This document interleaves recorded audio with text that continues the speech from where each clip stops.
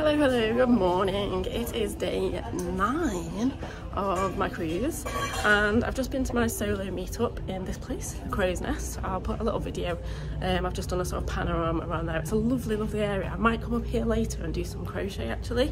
Um, just a really nice place, quite quiet and lots of uh, tables by the window.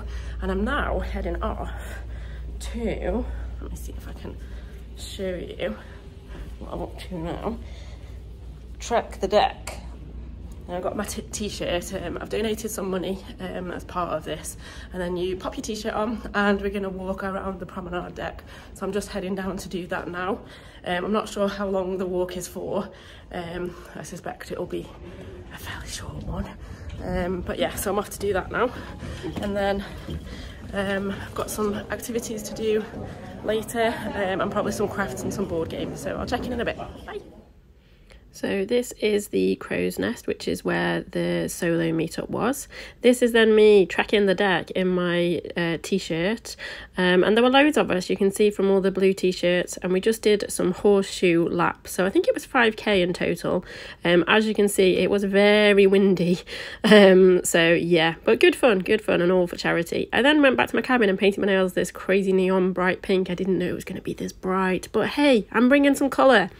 And then I went for lunch in my favourite restaurant, which was called the Olive Grove. Um, I was going to go for pizza, but the beef shin, it winked at me and it was delicious. Really enjoyed this.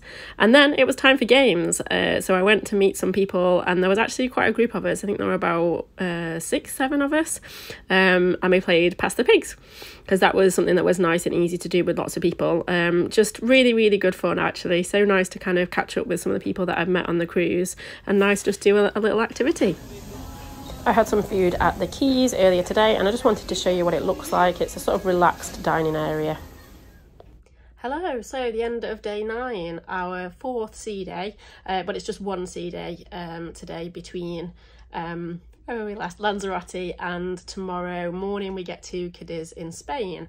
Um, so we've got a clock change again. Changed the clocks changed last night for summertime and they're changing again because we're going to Spain. So we've lost two hours. Um, so yeah, a little bit strange, but it's been it's been a really nice day. Just back from the evening. This is probably my latest that I've been back to my cabin, and it's not even eleven, but still, you know, um, it's really nice. So I went to see the Barbara Streisand show um, in the place called the Clubhouse, um, which is sort of like I guess it's like a bar really, but with loads of tables and chairs. Um, and uh, met up with some of the other solo travellers um, who I met earlier in the cruise, um, and, and they met up with other solo travellers. So had a really nice evening, getting to know people, chatting, uh, and it was nice to to feel social again. It was uh, it was really lovely.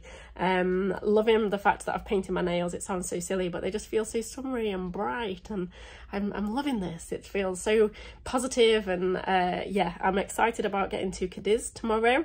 Uh, don't know what's going to be there, but I might go for a run, um, depending on when I wake up. Um, but today uh, it's been a fairly relaxed sea day. Um, walk, stretch class, uh, conversations, a little bit of food. Um, I've still done something like 13,000 steps, which is, you know, a fair few for a sea day. Um, but it's been nice, actually. It's been a nice break to the kind of new place every day, full on, loads of steps.